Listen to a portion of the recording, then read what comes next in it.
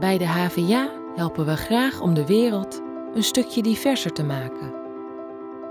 Dat doen we onder andere met praktijkgericht onderzoek. Hoe help je bijvoorbeeld buurtbewoners met verschillende culturele achtergronden om met elkaar in gesprek te gaan over de opvoeding van hun kind?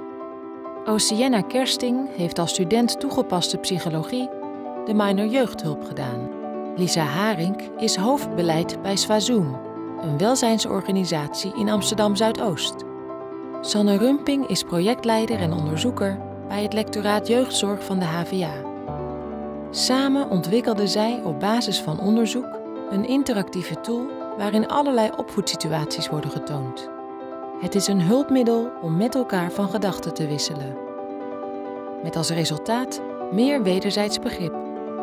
En volwassenen die elkaar beter begrijpen, dat is gunstig voor de ontwikkeling van ieder kind. Diversiteit? Samen werken we aan oplossingen voor morgen.